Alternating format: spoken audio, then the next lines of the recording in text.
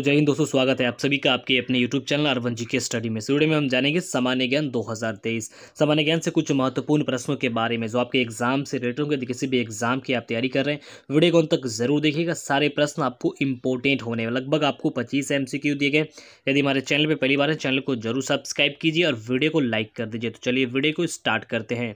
तो आपका सबसे पहला प्रश्न होगा क्वेश्चन नंबर एक, जूट उत्पादन में सबसे प्रचुर प्रदेश कौन सा है? वेरी इंपॉर्टेंट प्रश्न, जूट उत्पादन में सबसे प्रचुर प्रदेश कौन सा है? तो ऑप्शन नंबर बी वाला फ्रेंड्स इसका राइट आंसर होगा पश्चिम बंगाल। पश्चिम बंगाल आपको जूट उत्पादन में सबसे प्रचुर प्रदेश माना जाता है। नेक्स्ट है आपको क्वेश्चन नंबर दो। अमेरिका की खोज किसने की थी? वेरी इंपॉर्टेंट है, जो अमेरिका की खोज आपको की थी, वो किसने की थी? तो ऑप्शन नंबर सी वाला फ्रेंड्स देखेंगे कोलंबस ने आपको अमेरिका की खोज की। नेक्स्ट हो जाएगा आपको क्वेश्चन नंबर तीन। ओजोन परत कहाँ पर पाई जाती है? वेरी इंपॉर्टेंट प्रश्न है आपको ओजोन परत कहाँ पर पाई जाती है? तो ऑप्शन नंबर डी वाला, इसका राइट आंसर होगा आपको। समताप मंडल में आपको ओजोन परत पाई जाती है तो समताप मंडल में। नेक्स्ट है आपको क्वेश्चन नंबर चार। किस देश में विक्रम संबट आधिकारिक कैलेंडर है? इंपॉर्टेंट प्रश्न, किस देश में विक्रम संबट आपको आधिकारिक कैलेंडर है? तो ऑप्शन नंबर डी वाला, नेपाल देश में आपको विक्रम संबट आधिकारिक कैलेंडर है। नेक्स्ट है आपको क्वेश्चन नंबर पाँच। अंग महाजन पद की राजधानी कहाँ थी? अंग महाजन पद की जो राजधानी थी, वो कहाँ थी? तो ऑप्शन नंबर डी वाला फ्रेंड्स चंपा थी आपको अंग महाजन पद की राजधानी। इंपॉर्टेंट इस प्रश्न को आप नोट कर सकते हैं। अंग महाजन पद की राजधानी आपको कहाँ थी? तो चंपा। सारे प्रश्न आपको इंपॉर्टेंट होने वाले हैं। वीडियो को अंत तक ज़रूर देखिएगा। यदि चैनल पहली बार इस चैनल को ज़रूर सब्सक्राइब कीजिए और वीडियो को लाइक कर दीजिए। नेक्स्ट है आपको क्वेश्चन नंबर छः अंग्रेज़ों द्वारा निम्नलिखित में से किस क्रांतिकारी को फांसी की सज़ा दी गई थी?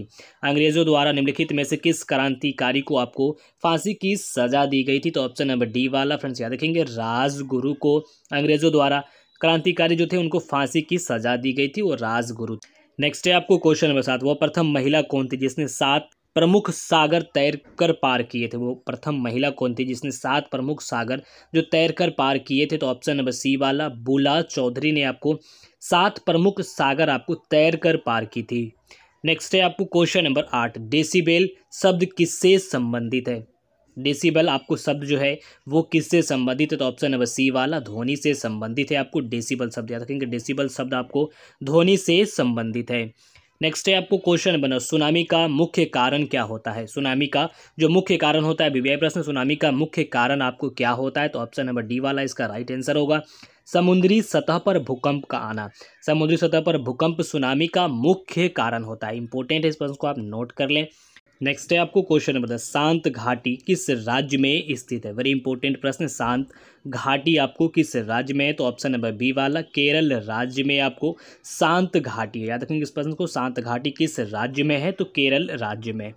नेक्स्ट है आपको क्वेश्चन नंबर ग्यारह। पहली बार परमाणु बम कहाँ पर फेंका गया था?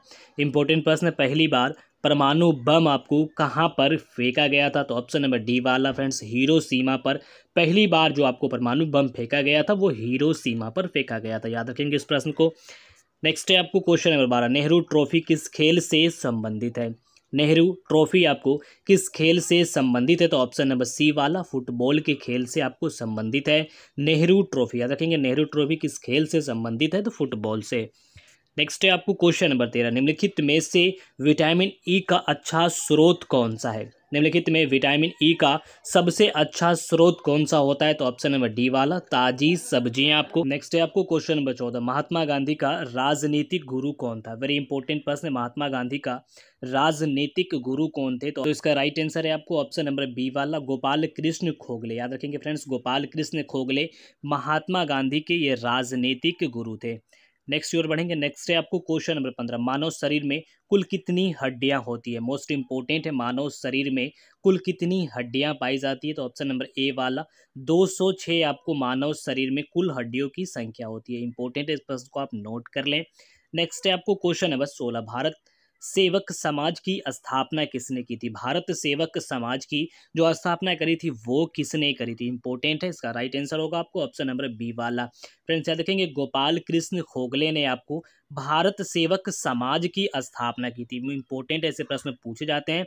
भारत सेवक समाज के संस्थापक थे आपको गोपाल कृष्ण खोगले नेक्स्ट है आपको क्वेश्चन नंबर सत्रह। मोती मस्जिद निम्नलिखित में से किस नगर में स्थित है? मोती मस्जिद निम्नलिखित में से किस नगर में स्थित है? तो ऑप्शन नंबर ए वाला आगरा नगर में आपको स्थित है मोती मस्जिद। याद रखेंगे, मोती मस्जिद आपको किस नगर में है? तो आगरा नगर में। नेक्स्ट है आपको क्वेश्चन नंबर अट्ठारह। हिंदी के सर्वप्रथम प्रकाशित पत्र का क्या नाम था? हिंदी के सर्वप्रथम प्रकाशित जो पत्र था, उसका क्या नाम था? इंपॉर्टेंट है, याद रखेंगे ऑप्शन नंबर सी वाला।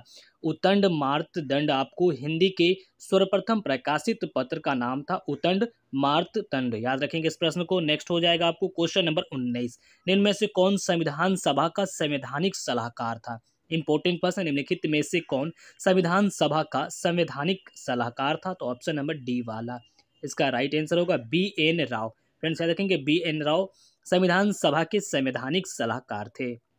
नेक्स्ट है आपको क्वेश्चन नंबर बीस। निम्न से कौन भारत में नागरिकता के अधिकारों का रक्षा करता है? इंपॉर्टेंट है। निम्नलिखित में से कौन भारत के नागरिकता के अधिकारों की रक्षा करता है? तो ऑप्शन नंबर सी वाला सांसद।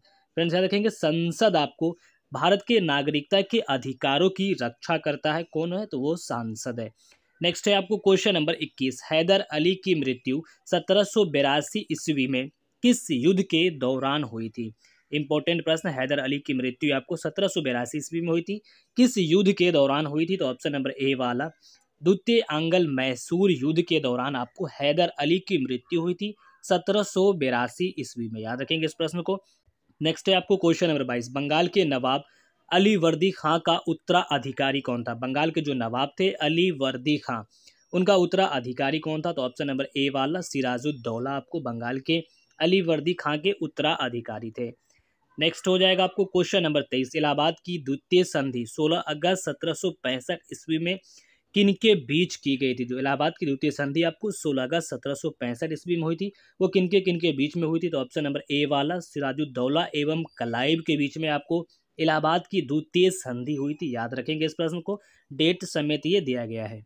नेक्स्ट हो जाएगा आपको क्वेश्चन नंबर चौबीस, उन्नीस में गठित भाषीय प्रांत आयोग का अध्यक्ष कौन था? उन्नीस सौ अड़तालीस में गठित भाषीय प्रांत आयोग के जो अध्यक्ष थे, वो कौन थे? तो ऑप्शन नंबर सी वाला। फ्रेंड्स इसका राइट आंसर है। एस के धर आपको उन्नीस सौ अड़तालीस में गठित भाषीय प्रांत आयोग के आपको ये अध्यक्ष थे। नेक्स्ट है आपको क्वेश्चन नंबर पच्चीस। किस मुगल बादशाह ने सत्रह सौ तैंतीस ईस्वी में बिहार की सूबेदारी बंगाल के नवाब सुजाउद्दौला को प्रदान की थी? इंपॉर्टेंट है किस मुगल बादशाह ने सत्रह सौ तैंतीस ईस्वी में बिहार के सूबेदारी बंगाल के नवाब सुजाउद्दीन को प्रदान कर दी थी तो ऑप्शन नंबर बी वाला मोहम्मद शाह रंगीला। तो सारे प्रश्न आपको इंपॉर्टेंट थे एग्ज़ाम से रिलेटेड तो हमें ऐसा ही वीडियो आपको पसंद आए वीडियो पसंद है वीडियो को लाइक कर दे। यदि हमारे चैनल पहली बार चैनल को ज़रूर सब्सक्राइब कर ले। तो मिलते हैं अगले वीडियो में, तब तक के लिए जय हिंद।